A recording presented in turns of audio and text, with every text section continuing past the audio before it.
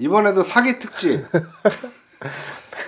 그 무당들의 뭐야 투자라고 하면 어떻게 해야 돼요, 선생님?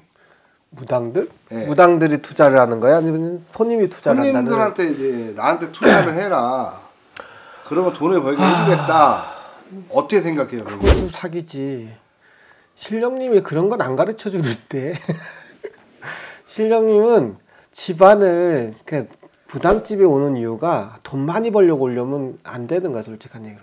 아, 잘 부자 되고 막 한 게 아니라 나쁜 걸 막고 집안을 좀 평화롭게 하고 어, 우환도 좀 막으려고 하는 거지. 와 그 집 다니면 대박 친다, 뭐 한다, 돈 벌어준다, 뭐 로또 되게 해준다. 그건 다 사기야 보면. 근데 어쨌든 무당이 신령님하고 어쨌든 이 길을 가는 거는 모르겠어. 돈 벌어주려고 그 상대들을 돈 벌어주려고 무당이 되는 건 아닌 것 같아.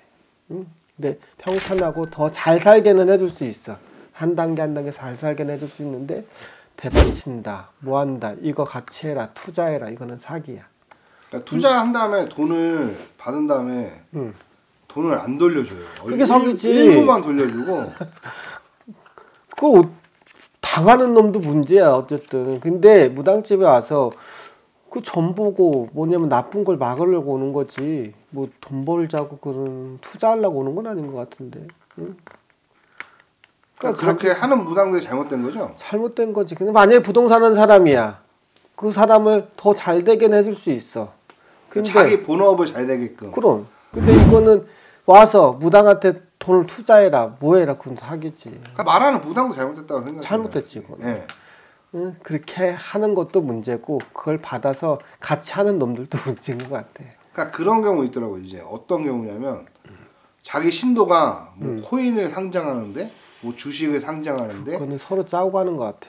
예, 뭐뭘 또 뭐 하는데 너가 여기다 돈을 넣으면 매달 얼마씩 줄게. 아. 자기네 가족부터 합니다 그런 거. 절대 당하지 마세요. 진짜야, 진짜 그건 안 돼. 지금 나 어, 이제 구독자 없어. 예, 구독자분들 간혹 전화 와서 예. 하소연을 하는 분들이 있어요. 이제 저 음. 듣다 보면 아 이건 말이 안 되는데라고 생각하는 부분이 좀 있는데 근데 1억 천금은 없어. 응? 한 방에 그냥 돈 번다. 편하게 돈 번다 없어. 그러니까. 일단은 무당이 이제 뭐 투자 뭐 이 투자만 아. 꺼내도 사기다. 예 사기다. 가지 마라. 그런데 가지 마요 좀. 아, 제발 좀 가지 마, 제발 좀. 그리고 갔다 와서 오지 마. 해결이 안 돼, 그거. 그건 가기 전에 오면 해결해 줄 텐데, 왜 다 당하고 오냐고. 응?